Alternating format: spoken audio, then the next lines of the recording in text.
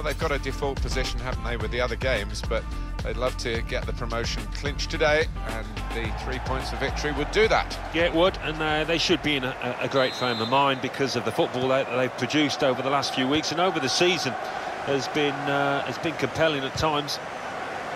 So this is how the hosts line up today. Hector Bellerin plays with Danny Rose as the fullbacks. In attack, Romelu Lukaku starts up front with Alexandre Lacazette. This with a chance to go into the lead now. He's made the save.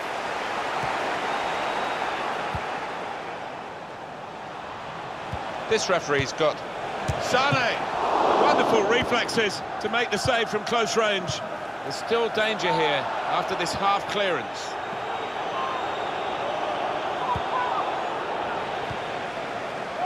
It's Jesse Lingard.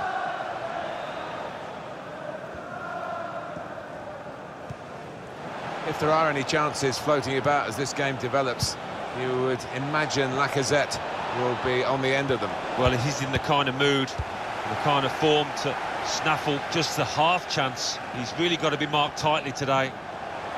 As for Coutinho, he's just majestic. Lingard, he's refused to be beaten here. Well, standing ovation from the fans, and why not? What a stop.